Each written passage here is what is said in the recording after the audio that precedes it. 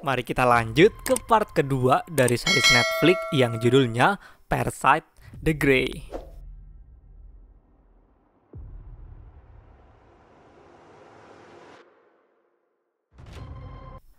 Abis penangkepannya Suin, tim Grey itu ngadain rapat bareng militer.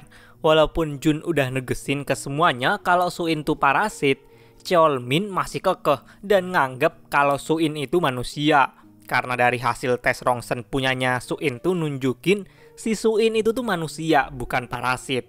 Ketua Jung ya juga ngikut kekeh karena dia bilang pas di hari kemarin dia lihat sendiri gimana Suin berubah jadi parasit. Jadinya militer nyuruh bawa Suin ke markas pusat buat dicek lebih lanjut. 정수인 더 이상 인간 아니에요.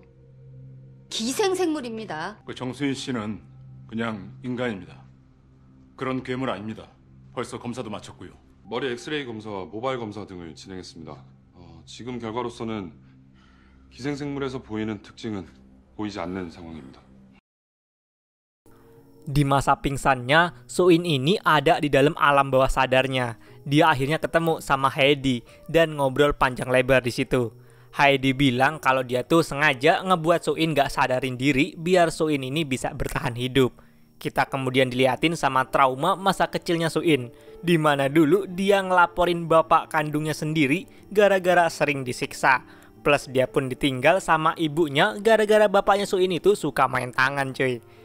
Nah dari situlah dia akhirnya deket sama Om Cholmin. Bahkan Suin udah nganggep Cholmin ini kayak bapaknya sendiri.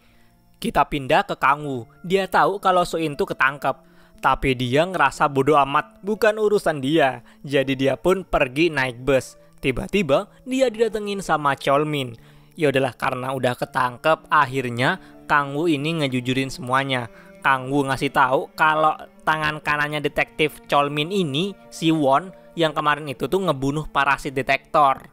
Nah, dia bilang kalau kemungkinan besar detektif Won itu seorang parasit juga yang lagi nyamar. Cholmin tuh masih belum percaya, sampai dia bakalan ngebuktiin sendiri nanti. Nah, alasan Cholmin ngedatengin Kang Wu karena Cholmin nyuruh Kang Wu nyeritain semua yang Kang Wu tahu tentang Suin. Dan juga Cholmin ini pengen minta tolong buat nyelamatin Suin pas nanti Suin dipindahin ke markas pusat. Awalnya Kang Wu nggak mau karena iya itu bukan urusan dia lagi. Tapi akhirnya dia mau karena nganggep mereka pas itu udah berjuang bareng-bareng. Kita pindah ke si pengkhianat. Dia ngabarin pendeta Kwon kalau Suin tuh bakalan dipindahin nanti malam. Beberapa jam sebelum Suin dipindah, Kang Wu datang ke markas tim Grey dan nyamar jadi petugas penjaga di situ. Dia berhasil nyusup bahkan ngebohongin petugas yang jaga di depan ruangannya Suin buat gantian jaga. Tapi ternyata ketua tim Grey itu majuin jadwal pemindahan. Untungnya Kang Wu berhasil masuk ke dalam truk kontainer bareng sama Suin di situ. Semuanya pun berangkat. Pas sampai di jembatan aneh banget cuy. Tiba-tiba aja macet. Diceklah, ternyata di depan sana udah ada parasit yang ngehadang biar tim Grey ini nggak bisa lewat. Ya tujuan mereka tuh mau ngebunuh Suin yang jadi penghalang organisasi parasit. Tim Grey bareng para parasit ini saling serang. Ketua Jun merintahin buat truk yang ngebawa Suin putar balik dan cari jalan yang lain. Tapi truk ini keburu didatengin sama parasit. Kita kemudian ke dalam kontainer. Nah, Kang Wu ini bingung kayak mana caranya buat ngebuka helmnya Suin karena helm itu tuh bisa nyuntikin gas beracun. Dia kemudian keluar truk dan akhirnya nemuin ketua Jun yang lagi pingsan gara-gara tadi diserang sama parasit. Kang Wu pun ngambil remote buat ngelepasin helm itu. Mereka berdua pun akhirnya berhasil kabur bareng.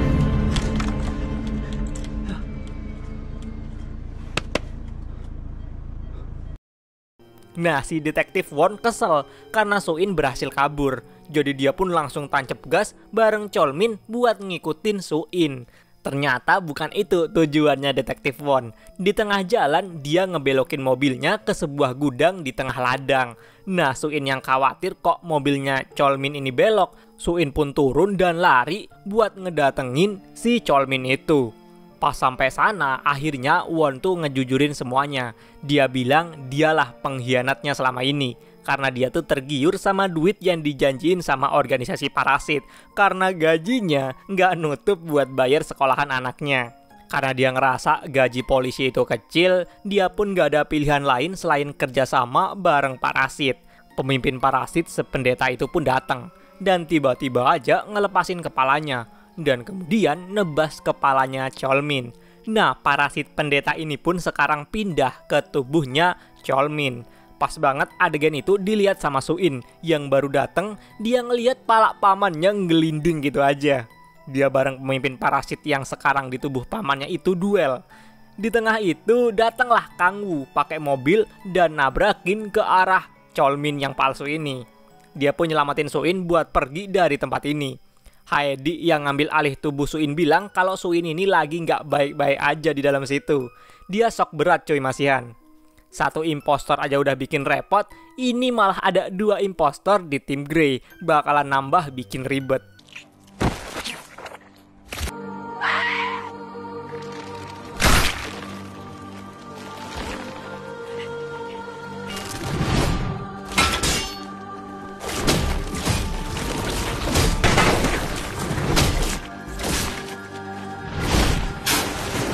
수인이 지금 상태 어때? 수인이에게는 지금 시간이 필요하다. Kita terusan flashback di hari dimana adiknya Kanggu hilang. Dimana pas itu adiknya ini abis balik jaga toko. Nah dia tuh ngeliat ada orang-orang yang datang ke rumahnya. Yang datang tuh ternyata pendeta Kwon bareng temennya cuy. Dan tiba-tiba aja mbaknya tuh berubah jadi parasit. Ngeliat itu si adiknya ini auto kabur. Nah dikejarlah sama tiga parasit ini. Tapi akhirnya adiknya Kang Wu ini pun ketangkep dan nasibnya ya bisa ditebak yang kayak kemarin itu. Dia dijadiin makan malam bagi para parasit. Kita balik ke masa sekarang, di mana Kang Wu berhasil kabur bareng Suin. Nah, di sini posisinya Suin tuh masih shock berat cuy, sama kematian Cholmin. Ya gimana nggak shock coba? Apalagi matinya Cholmin itu dipenggal kayak gitu. Nih orang dua akhirnya pergi ke tempat temennya Kang Wu kita ke tim Grey. Nah, tim Grey ini disidang sama militer karena mereka gagal mindahin Suin ke markas pusat, bahkan sampai-sampai ngebiarin Suin kabur. Nah, mereka terusan ngebahas tentang festival yang nggak bisa dibatalin gitu aja, karena acara ini punyanya wali kota. Akhirnya tim Grey dikasih waktu tiga hari buat ngebunuh semua parasit yang ada, sekaligus ngamanin festival itu. Nah, di sini Cholmin palsu lagi nyamar dan nggak ketahuan cuy. Cholmin palsu ini laporlah ke Jun. Dia ngelaporin tentang markas baru parasit yang ada di tengah kota. Dan akhirnya Jun merintahin buat ngelaksanain operasi ke sana besok. Suin ngehubungin Jun minta ketemu empat mata. Suin ngelaporin kalau ada parasit yang nyusup di timnya. Suin bilang kalau Cholmin yang sekarang ada di tim Grey itu sebenarnya pendeta sekaligus pemimpin para parasit. Jun awalnya nggak percaya, dia bahkan ngasih tahu ke Suin operasi penyerbuan markas parasit itu yang ngusulin ya Cholmin itu. Masa iya pemimpin parasit ngebocorin hal begituan? Suin negesin bisa aja itu cuma jebakan. Bisa aja pas sampai sana tim Grey itu pada dibunuh-bunuhin. Suin mau ditangkap lagi tapi untungnya Hai dibangun dan pergi dari situ. Suin dijemput sama Kang Wu. Nah mereka berdua pun balik ke tempat persembunyian. Nah ternyata di sana malah ada parasit mbaknya Kang Wu cuy yang tahu lokasi Kang Wu gara-gara nyadap HP-nya Kang Wu. Temannya Kang Wu ini jadi korban dan mati di situ. Sedangkan Kang Wu sama Suin berhasil kabur. Besoknya Jun mau mastiin omongannya Suin tuh yang bilang kalau Won sama Cholmin itu parasit. Dia pun coba nyabut rambut Won, tapi ternyata nggak ada tanda-tanda parasit. Ya iyalah nggak ada karena si Won ini manusia yang berkhianat demi duit.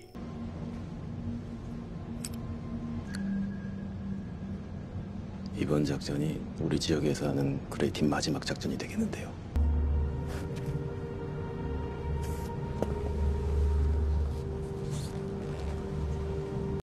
Pagi-pagi buta, mereka pun ngedatengin markas parasit. Di sana, ternyata banyak sisa anggota parasit cuy. Karena nggak ada persiapan, karena serangan dadakan, parasit-parasit itu pun pada mati dibunuh sama tim Grey. Nah, parasit Mbak Kanggu ini hampir aja jadi korban tapi dia kebetulan aja barusan balik dari nyari Kangwu.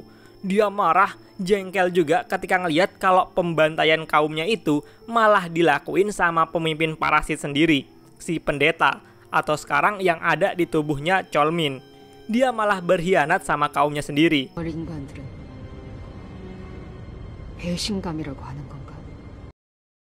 Jun pun bilang ke Suin kalau ini bukan jebakan, karena mereka berhasil ngebasmi banyak parasit di situ. Nah, Suin sama Kang Wu heran, kok ada yang aneh? Mereka baru sadar kalau bentar lagi kan ada festival.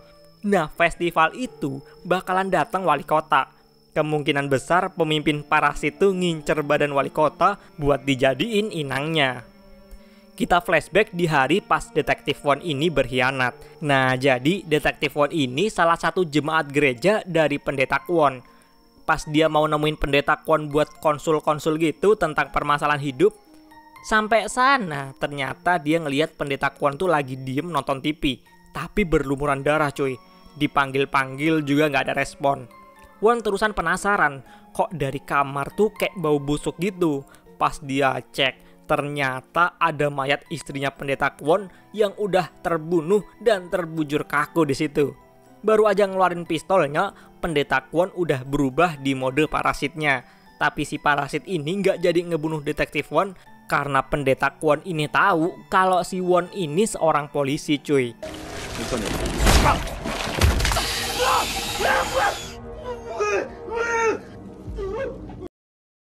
Jadinya Won ini diajak kerjasama sama pendeta Kwon. Ya si Won ini kalau nolak nyawanya yang bakalan melayang. Jadi dia terpaksa buat ngeiyain ajakan kerjasama ini buat nguasain dunia manusia. Kita balik ke masa sekarang. Parasit yang sekarang udah ada di tubuh Cholmin ini ngumumin ke media tentang serangan yang polisi bareng tim Grey lakuin beberapa hari kemarin di markas parasit. Dia pun juga ngespil identitas sisa parasit, yaitu Suin sama mbaknya Kang Wu yang seorang parasit. Jadi Suin tuh sekarang jadi buronan cuy. Nah, ketua tim Grey yang ngeliatin Cholmin ini kayak ngerasa aneh gitu. Padahal kemarin-kemarin nih orang mati-matian buat nyelamatin Suin. Kok sekarang seolah-olah bodoh amat gitu. Suin mau mati atau ketangkep, nggak peduli si Cholmin ini. Kita pindah ke Kang Wu. Tiba-tiba dia diajak ketemuan sama mbaknya sendiri. Nah, si parasit ini katanya pengen balas dendam karena temen-temennya tuh dihianatin sama pemimpin parasit. Ya, Kang Wu sama Suin gak ada pilihan lain selain setuju kerjasama.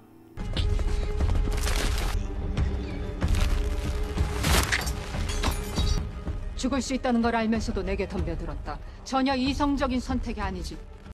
Malam festival, tiba-tiba tim Grey dapat laporan dari orang anonim tentang keberadaan sisa parasit. Nah, posisinya tuh jauh dari tempat festival. Tapi karena disuruh sama atasan dari militer, tim Grey pun berangkat ke lokasi itu. Di tengah jalan, Jun ditelepon sama Suin dengan bilang kalau pemimpin parasit itu ngincer badannya wali kota buat dijadiin inang. Ngedenger itu, Jun pun merintahin timnya buat puter balik ke acara festival yang dihadirin sama wali kota. Malam festival ini meriah cuy. Si wali kota pun udah dateng di festival ini. Suin, Kang Wu sama mbaknya tuh juga datang di festival ini.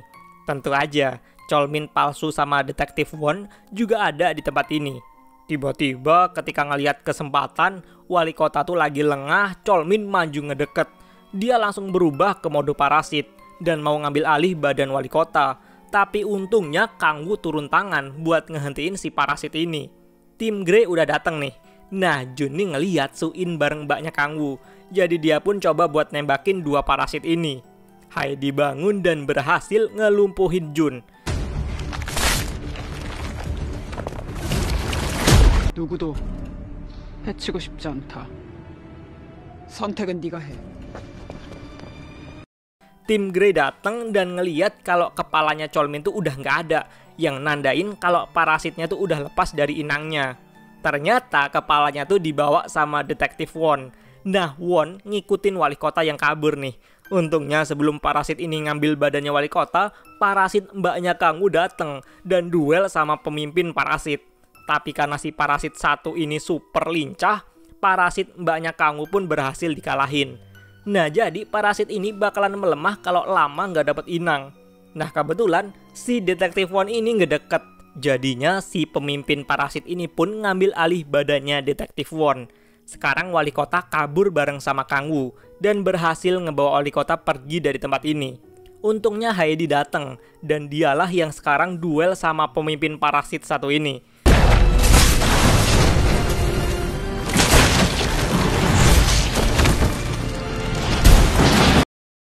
Suin mancing ke ruang pameran. Nah ternyata diem-diem pemimpin parasit ini misahin sebagian tubuhnya, jadi kelihatan bolong tuh kepalanya. Heidi ini nggak tahu, tiba-tiba dateng Jun ngebawa senjata. Nah di sini pun Jun nggak tahu kalau pemimpin parasit ini udah ada di tubuh detektif Won. Jun taunya yang parasit di sini ya cuma Suin doang. Dikomporin tuh sama si detektif Won buat buruan nembak Suin. Tapi akhirnya si Jun sadar kalau yang jahat di sini Won Nah, si Jun ini ngeliat dari pantulan kaca pala Won yang bolong. Nah, bagian parasit yang lain itu mau nyerang Jun dari belakang. Untungnya sama si Heidi berhasil ditusuk. Jun pun ngebunuh detektif Won ini. Dengan begitulah, pemimpin parasit ini pun mati. Ngeliat Suin yang beda dari parasit-parasit yang lain ngebuat Jun kesentuh dan ngecualiin Suin ini. Jun pun merintahin tim Grey buat nggak ngebunuh Suin karena katanya Suin ini cuma manusia biasa cuy. Jadinya tim Grey pun ngebawa Suin ke rumah sakit. 저놈을 공격한 거야? 당신을 믿었다. 따라해보고 싶었다. 수인이의 믿음, 수인이를 부탁한다.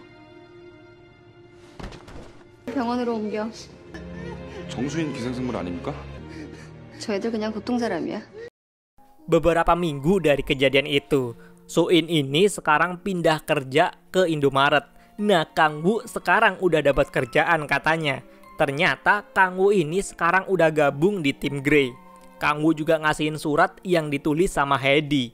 Heidi bilang kalau dia tuh selalu ada buat Suin cuy. 나는 기생하게 된 존재가 너여서 또 너의 뇌를 완전히 빼앗지 못한 게 다행이라는 생각이 Dan season 1 series ini pun ditutup sama kedatangan seseorang yang katanya mau nemuin Jun. Dia katanya punya info penting yang ada sangkut pautnya sama parasit. konnichiwa. Izumi Shinichi desu. Ternyata yang datang ini adalah sepuh dari film sebelah, Shinichi Izumi, karakter utama dari film Parasit Jepang yang kayaknya di season 2 yang belum tahu kapan bakalan collab sama tim Grey Korea ini. Gimana sama seri satu ini? Menurut lu seruan mana? Yang Jepang apa Korea? Coba komen di bawah. Ya mungkin cukup itu. Sampai jumpa di alur cerita selanjutnya. Bye-bye.